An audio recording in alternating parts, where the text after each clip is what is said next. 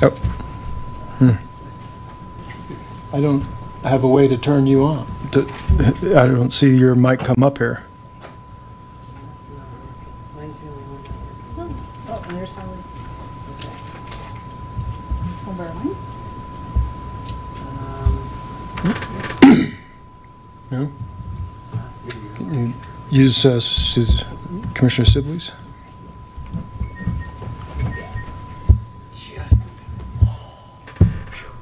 Okay, well, that's not working either.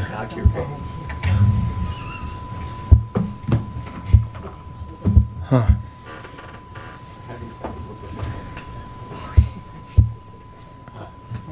No, it just keeps popping off. This one worked. Of course, there's nobody sitting here. We'll just. I'll talk loud. Okay, Chairman Lane, here. Commissioner Sibley, Here. Commissioner Fenster, Here. Commissioner Norton, Here. Commissioner Jacoby, Here. Commissioner Barnard, Here. Coun- Councilmember Peck. Here. Thank you. All right, thank you. We have a uh, full house. Um, Next order of business is approval of the April 4 uh, minutes. Do any commissioners have any corrections or comments on those minutes? No? If not, I'll entertain a motion to approve. I'll second. Okay, so uh, minutes, uh, motion to approve the minutes of April 4th by Commissioner Fenster and seconded by Commis- uh, Commissioner Sibley. All those in favor, please say aye. Aye. Any opposed? None. The minutes are approved. Um, Report from the chair. The only thing I have to report uh, is that uh, they were, uh, they were correctly identi, uh, it was correctly identified in the minutes that I said last time that I wasn't going to be here tonight, which is obviously false. Um, So I'm making that correction um, now as in the report to the chair. I will, however, not be at next month's meeting, so, um, I will be So- more on time. and, and we can chat afterwards if you like, just for um, a minute or two of prep if you so desire. All right. Um, I did uh, note that uh, council did pass a resolution um, Tuesday night, uh, um, as we expected. Um, And thank you for Commissioners uh, Sibley and Barnett for uh, being in attendance at the meeting and saw the the photograph. So appreciate that, uh, that May is Historic Preservation Month. Uh, Okay, com- uh, communications from HPC Staff Liaison.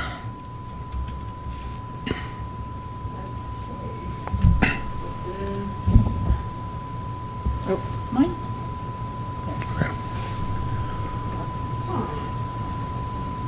Okay, apparently, we're having all manner Yeah. of technical issues It's working. Let me see if this works.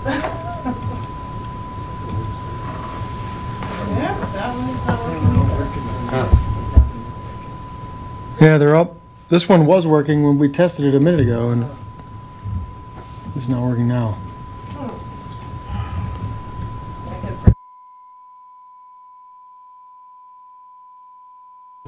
Haha, we have it. okay, I think that is the magic. Uh, good evening, members of the commission. Um, so we are having some technical issues in council chambers that they're working on resolving. So I won't be using a PowerPoint this evening. Um, Maria, I know, has pulled up the the commission packet on your screen, so I will be referring to that. Um, As Commissioner Lane mentioned, um, we did have a proclamation this week at City Council for um, Archaeological and Historic Preservation Month. So I am going to pass the official proclamation down, and it can make its way to Maria, and she will keep it in the archives, so.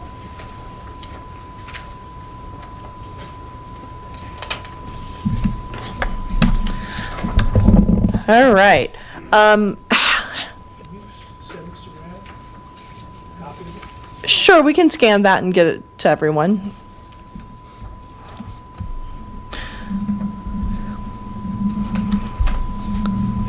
Making a note to myself real quick.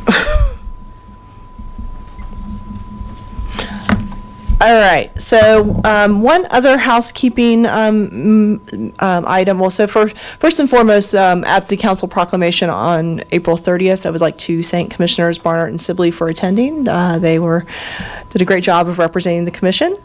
Um, Another housekeeping item is that our July meeting does fall on July 4th, and um, Maria has worked, has looked at other possible dates in the council chambers that might be available. Um, We aren't finding anything currently that would be available for a reschedule, so um, probably need to consider canceling the July 4th meeting as opposed to rescheduling it, just from a logistics standpoint, but I will obviously defer to the commission on that item. Um, a few other updates here. Um, we did provide, staff provided an overview of the uh, requested conservation overlay zoning uh, for Historic Eastside Neighborhood Association at the April 23rd meeting, specifically to discuss um, really what the purpose, um, process, and, and, you know, what the purpose and process for a conservation overlay would be, um, and also to discuss the requested fee waiver by HENA. Um, so we still have some additional work to do. Um, it's not just as simple as city council or someone saying we, we therefore waive the fees. Um, we do have to do an amendment to the land development code, which would need to be approved um, as a precursor to um, any sort of rezoning fee waiver. So staff is currently working on uh, doing that analysis and uh, putting, you know, getting that information put together for a future update to council. Um, The other item is, so Tower of Compassion, I will hopefully be bringing this application to the commission at the June meeting uh, for consideration of landmark status, recommendation to the council. That is on my priority list for the June meeting. Um, I did meet with Damien Thank you. I'm like, starts with a P, ends with an A. Uh, Pachetta from um, History Colorado, the state uh, historian's office, and we discussed um, the upcoming, um, you know, theme for the sesquicentennial of the state, which is um, History for All, really focusing on indigenous and underrepresented communities uh, in the state of Colorado. And um, one of the interesting and exciting things about the Tower of Compassion is if we do landmark it and it is approved for inclusion on the state register, which um, consensus is there's no reason to think it would not be. Um, it would only be the fourth site in the state associated with Asian American, the Asian American community in Colorado to be on the state, state register. So um, that is something that's, I think, really interesting and also would be a very important thing for the for the city of Longmont. And so I'm working. We're going to be working on that to move that forward as well. Um, survey plan, they're still working on it. Everyone's running behind right now, so I'll have a better update at the June meeting right now. Um, and then earlier this week, I did complete our quadrennial CLG review with Lindsay Flewell- Flewelling, whose name I always botch, um, at History Colorado. Um, so we are, I think, good to go for the next four years on that one. So with that, um, I think that's all I have on my general um, uh, report. Okay, thank you, Jennifer. Uh, One item I would note, in our January meeting, we did reschedule the July HPC to the 11th. Yes. So- And so the challenge that we have found is, um, mer- It's the airport advisory. yeah, the problem is there's, we can't, we can't get into this room because there's another, we can't get into this space because there is another um, board that's in here. So um, Well, let's see if we can find some other options that would um, be accessible for Longmont Public Media, since they have to record the meetings. Um, But that, that is the challenge we're having, because we were looking at trying to do it on the 11th. Um, We're just coming up with some logistical challenges, so. And I- I, I can, uh, from my perspective, if there's nothing, you know, we don't have a COA or something to review, that's fine, but I don't want this survey plan to just kind of sort of keep slipping and slipping and slipping. Nope. Um, So that's my biggest uh, concern. Uh, Let's see. Commissioner Barnard? Yeah, I guess, well, first, is, is it possible to meet at the museum, or? I don't know the answer to that question, so um, Maria can, Maria, if you could take a look, have you t- looked at that space? No, um, No, I haven't. Okay. The 10th is open, I believe, July 10th, a Wednesday here. Okay. What's, I can, I- I'll make sure. Is a straw vote of anybody who has an issue? Yeah, mostly heads? Well, and I was gonna say, is it, is there a possibility of doing it uh, remotely on the 11th? Like we were doing at COVID? No, I don't know if that system is set up. That's what we've done now. yeah, it's, it's, it's a little bit challenging to do now like that, but um, Fair enough. we'll take a look at some other venues and have an update at the June meeting. Okay, and it it sounded like uh, people, the- that the 10th might be an option. Again, if we can get the survey plan Mhm. on the agenda and keep that moving, I think Mhm. that's something. My goal is to have that as an item, um, at least have a serious update on the, on the June meeting as well, so. Right.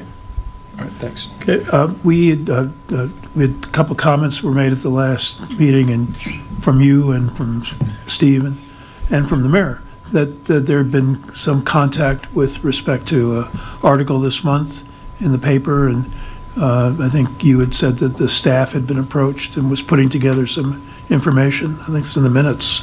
I'm going to read Yeah, it to you. yeah, there was a, there was an article in the There was an uh, article. Times, yeah. Yes, uh, it was, yes, thank you for jogging my memory. It was uh, regarding the Tower of Compassion. Mhm.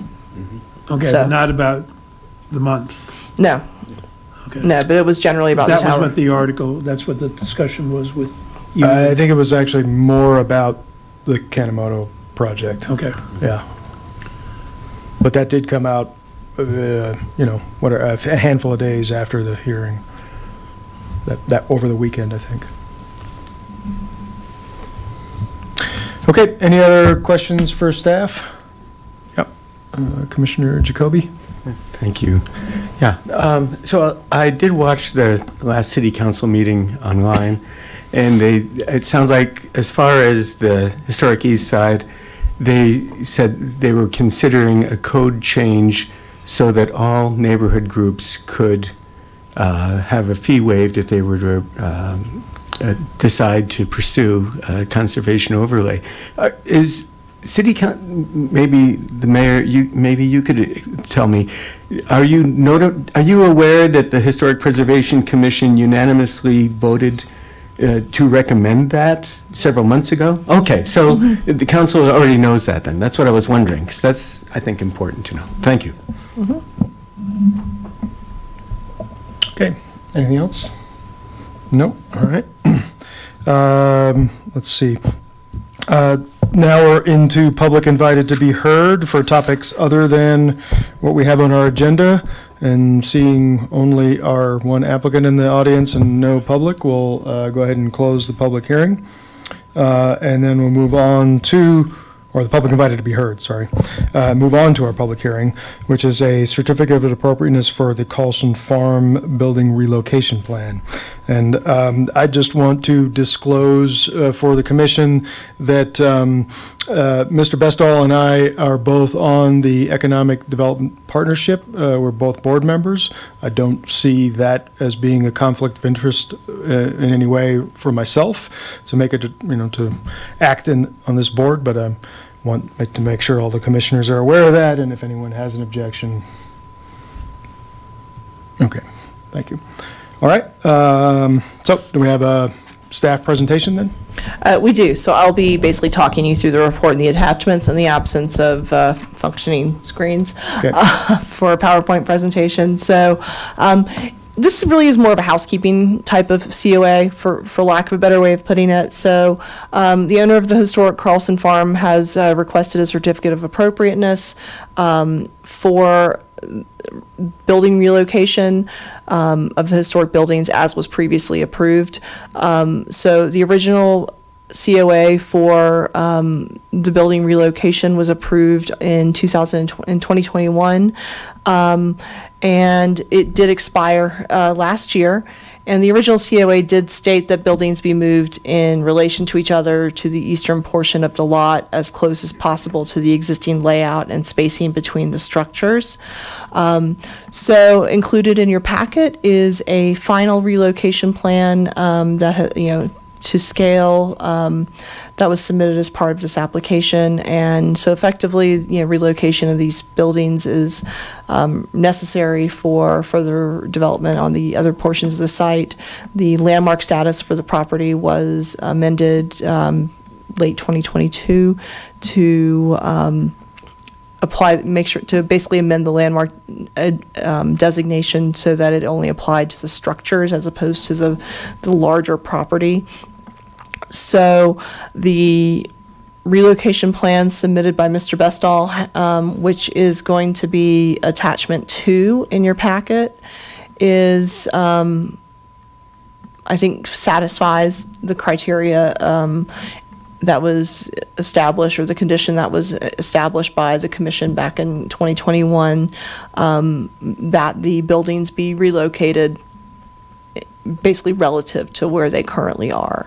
Um, And the relocation plan, I think, shows that very well. So um, with that, Mr. Bestall is available to answer any questions uh, um, that you may have of him, but otherwise, we'll stand by for any questions or discussion from the commission. Okay, any questions for staff? No? Okay. Mr. Bestall, do you have anything you'd like to add, or it's your opportunity? Just that we're excited about where we are now, and that I was thinking that the second certificate of appropriateness, which was a year later roughly, I guess. How about a microphone? You can't hear me? I'll speak up. Oh, that's good. Um, Maybe I just need to get under the cone of silence here. Um, I think, um, no, I was just going to say, we're excited about where we are, and we have uh, building permits um, pending the relocation to where they need to go, as, as you all directed us to, and they conform to that. Um, It really was my mistake, probably, because I was thinking the second certificate of appropriateness still covered us. And we've, we've got, it's, I think we have six months left on that, but uh, we, we- I would just would appreciate extending the, the 21 one, so we have another two years. These things always take a little longer than expected. We have, uh, we're in the preliminary plat process, we're actually at the final plat, so we think our next submittal will um, subdivide the property, and we've done all the infrastructure, so things have been moving along. We ran in place for a while because we're tied to fourth, the filing, the fourth filing, the Wallace addition, uh, filing. And uh, that's good, because the infrastructure will interlock, and we've, we've been coordinating with staff on that, so I'd be happy to answer any questions. Any questions for the applicant? No? Okay, thank you. Thank you. All right, well, any board discussion here? Commissioner Discussion, I'd Barnett? make Or- a motion to, uh, um, to renew the certificate of appropriateness per the staff recommendation. I'll second. Okay, I have a motion to approve the extension by Commissioner Barnett and, excuse me, seconded by Commissioner Norton. Any further discussion? No? Then, uh, all in favor, please say aye. Aye. Any opposed? None? So motion carries unanimously. Thank you. Thank you for coming in. Okay, uh, let's see, uh, we have, uh, new business, uh, commission interviews. We have an update on a potential new commissioner. Uh, We do have one applicant for uh, Historic Preservation Commission this application cycle. Um, With that, we would need a, we need to establish a review committee that will meet sometime in May and make a recommendation to City Council um, regarding this particular applicant. So I will turn it over to the commission to discuss who would like to be, So is this a thing where you need basically two people? Pretty to- much, to yeah. So it's not a real meeting, but it's, okay, all right. And I, I'm going to unvolunteer myself because I'm not going to be here, so um, now I need two, two volunteers. Okay, C- uh, Commissioner Barnard. I think I can do it as well. Okay, Commissioner Barnard and Commissioner Norton. Great. Okay, Volunteer, thank you for volunteering. We don't, if you want to do it, I'll second. I'll be happy to let you do it. Okay, so that'd be just something that uh, you would coordinate? Correct. Jennifer? I will Okay. uh, coordinate with um, both Commissioners Barnard and Norton, and can very well be something we could do via Teams or something like that as well. So we'll make it as smooth as possible and efficient as possible for everyone. So I'll uh, reach out probably Monday on that one for you. Um, I feel like last time we did this, you guys had some pre-written questions. Is that still how we're? I will have to go back into the records and see how we did it the last I time. see- I could see if I have anything too. Okay. Yeah, we had a little scorecard or something, Uh, actually. Yeah, I want to say there was a score sheet, so I'll have to go back into our records and, and take a look at how we handled things previously and uh, get with you on Monday for that. Thanks. Okay, well, thank you, and thank you Commissioners Barnett and Norton for volunteering. All right, uh, let's see, we had a discussion last week about, or last month about uh, solar and historic properties, and it looks like we've got uh, some more information in the packet, so Jennifer, you want to walk us through that? Sure. So, um, again, as we discussed um, at the last meeting, you requested a couple of, um, you requested some additional samples of guidelines relating to solar systems in historic districts. Um, we did find two, I think, good ones. Um, one, the National Alliance of Preservation Commissions has actually some sample guidelines, so that's a handy dandy cheat sheet there as well. Um, and then the city of Denver also has um, some really good ones as well. So I included the section of um, the Denver guidelines relating to um, solar material, solar sustainability, and specifically solar um, panels.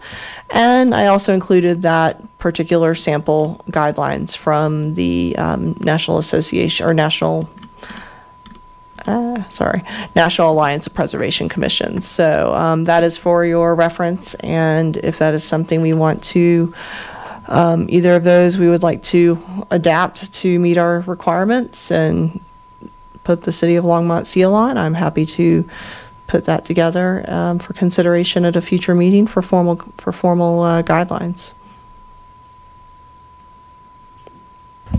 Thanks.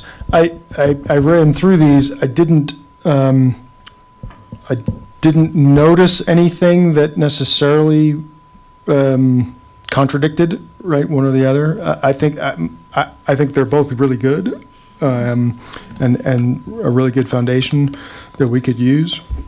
I would probably be in favor of picking one and just saying, use one of the two and to avoid sort of any potential confusion. That would be my sort of thought, but uh, interested to hear what, if anybody else, you know, has an opinion or has any comments about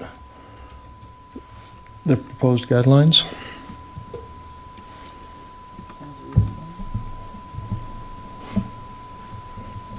Oh, there we go, okay. There you go. All right. Thank you. Um, My impression was that the uh, guideline, oops, ooh, don't, that disappeared. Uh, The Denver guidelines seemed a little more specific to me, um, and, but very uh, amenable to what we would be doing, and I would lean more towards using the the Denver guidelines, uh, I think, than the the others, which were more generic, which, again, if we want to pursue it, to leave more flexibility, maybe that the, the um, uh, guidelines from, there, there, the uh, National Alliance of Preservation Commissions, I that looked a little more generic to me if we wanted to uh, embrace more flexibility. But I thought the Denver guidelines were very good and, uh, you know, to borrow a brain, I mean, they worked on it, you know, I, I, I'd be happy to use the Denver guidelines. So, so if we wanted to sort of for, formally adopt one of these, we- we'd, we'd do that as part of a little, as, as a public hearing process here, or? You know, I'll have to take a look at that because they are, um, I mean, I- the commission should be the one adopting the guidelines. Um, It's just a matter of, it wouldn't necessarily be an ordinance, it may just very well be via a motion. Um, So let me get with Jeremy and um, determine the most uh, legally defensible way of doing that, and I'll get back to you in the June meeting. Okay. Chairman? Yep. Uh, Commissioner Barnett? Um, Well, I, well, we have, I think we have two possibilities here. One is the, a kind of a generic, one is a, this is a good starting place for local preservation commissions. Okay, so that's what it is, a starting place. And then the other one is a big, you know, a big city uh, decision, which gets into a lot of detail. So I guess my question would be, can we take a look at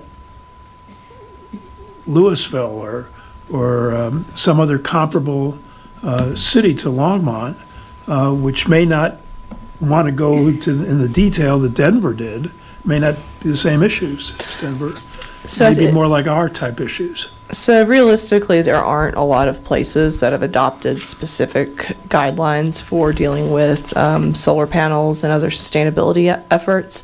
Um, It's, it's something that's really being looked at a lot more now, but um, I did have uh, my associate planner, Melanie, she, she did um, a lot of the research on this, and these were the two, really the two she found in our area.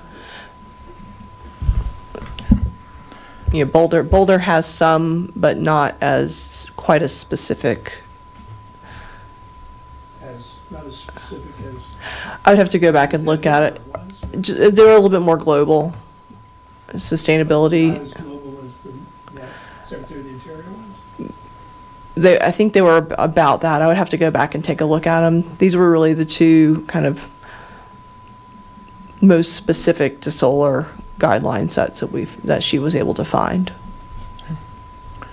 Uh, Commissioner Fenster? Yeah. Um, It occurs to me that we might be well-served if we adopted a set of guidelines as a template and then worked from there. Then we would have uh, something to go on, and it would advance the cause at least through step one. Um, Because right now, we're just talking about having something, but uh, we haven't put anything into our uh, lexicon.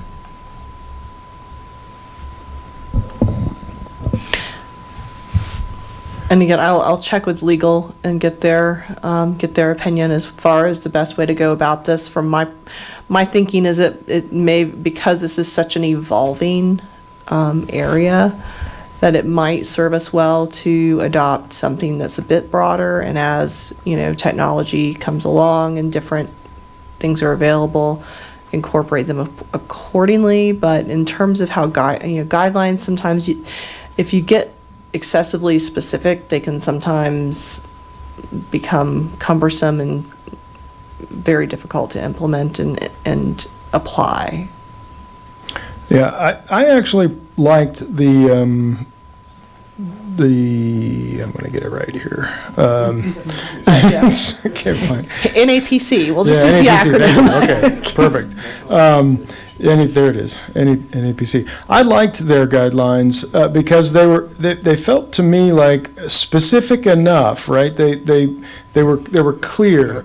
Uh, Primary elevations, this is our recommendation, secondary elevations, right? Uh, What you can do on other, the structures, what if you can do if, if it's detached? And then what not to do under any circumstance is really clear too. I think that is, is maybe as important as anything, right? Just making it really clear what, what is not recommended. Um, and, and I kind of felt like that, I, mean, for the, uh, so, tiny little aside, I, I, I spent some time on a planning commission a bunch of years ago that, that spent an inordinate amount of time making a wind uh, turbine regulation uh, in response to one person's installation of a wind turbine. And then we never had another application in the next 10 years around wind turbines. And so, uh, you know, I think you can get too far into the weeds with some of this stuff. If we have a good set of guidelines that pretty clearly say this is the intent and this is really what you can't do, uh, then it leaves enough enough sort of you know the staff can make a determination if it's if it looks like it's pretty easily falls within this, they can grant the COA. If it's if staff has uh, a sense that, well, this might be a little sticky, I don't know, I'd rather have the commission, you know, we're going to feel more comfortable bringing it to the commission, then, then that's part of why we're here as a commission, to, to sort of make a judgment call as to whether it's, um, whether it's appropriate or not. So my leaning would be towards, towards uh, using the, the NACP standard as a, as a good guideline, and then not worrying too much about weeds and details. That's my two cents. Uh, you wanna- Yeah. Okay, Commissioner Sibley. Yeah, I was just gonna say, I liked theirs as well, um, and I really liked that it called out the different types of systems. Um, that's what we have now, basically, but to your point, there could be more, so that, to m- my mind, if it labels three, that means, hey, if there's something else out there, bring it up. So I kinda liked how that was set, so I agree. Commissioner Barnard? Yeah, could you ask the staff to look at the Breckenridge um, uh, ordinance that was adopted? Okay. So I think the, the balance here is between historic and green. And, you know, to find, and that's the, and just a very, you know, 30-second search, this was the, a big discussion in Breckenridge between the two.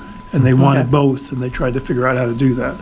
I think it was finally adopted, I can't, didn't have time to find that out, but it was proposed and expected to be adopted in the article I saw.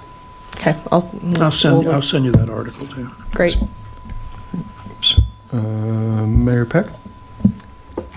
Thank you. Um, Just my input. Uh, I would think that with the NAPC, as technology evolves, they would be more apt to give guidelines, whereas a municipality that made up their own uh, would be struggling with the technology as well, and maybe not put us in that position down the road. So, Thank you. Let's see, Commissioner Jacoby? I think, yes, both sets of guidelines are very good. Um, And that, the idea of approaching it with more general guidelines, especially since we're just starting, makes a lot of sense. My, my one concern that I had, which is why I was thinking about the, the Denver guidelines, was they were a little more specific and restrictive. For example, um, just the idea of setting solar panels back from the eaves a, a certain distance in the front of a house. Um, they addressed that, the NA whatever, whatever, did not really address that. And if someone came to us as, you know, with a proposal, um, if we adopted the more general guidelines, but we would like to see, say, the solar panels back a little bit, to add it after they come to us with the application would seem more difficult to me than if they came, we had that already in the guidelines, and we said, we are willing to waive that because of whatever circumstances. That's the, the main reason I was thinking the Denver guidelines were better, because they were more complete, and given that kind of circumstance, it would be easier, I think, to waive a guideline than to add something at the 11th hour. But uh, I agree, I mean, the technology is changing, to have overly specific guidelines is, is uh, not necessary. Well, if, if this is something that needs to get back into, you know, staff's court for a little bit to, to see and, and come back with a recommendation of how this would get implemented, maybe that's also an opportunity for commissioners. Want to take a little bit closer look at the Denver and, uh, like you said, Commissioner Jacoby, if there's, you know, if there are three thing, or, you know, some num, some small number of extra pieces that we like, uh, we potentially could, could do a hybrid without I just don't want to get into something that's just so crazily detailed, right? We don't need another demolition ordinance exercise. It's- We just.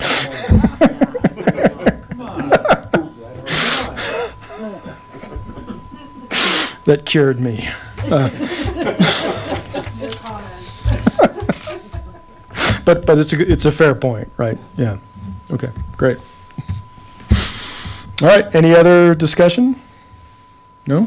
All right, well, thank you for bringing that, that- that's great. I mean, it's, I think it's really encouraging that there's something out there that I think gets us on some pretty good footing without Thank- a lot of effort. Great. So thanks for finding that. Absolutely. Okay. Uh, let's see, now, so now we're just down to, uh, the end of the show here. A- a- Any, um, comments from commissioners? No. No? Okay. Uh, our city council representative, Mayor Peck, any? Nope? Okay, all right, well, there you go. Uh, with that, then, I will entertain a motion to adjourn. So moved. Second. Oh, okay. I, I heard the one closer, so I'm going to go with um, a motion by Commissioner Fenster and seconded by Commissioner Norton by a hair. All those in favor? Aye. All right, we are adjourned. Thank you all for coming out for the evening. Thanks again. That was great. Thank you.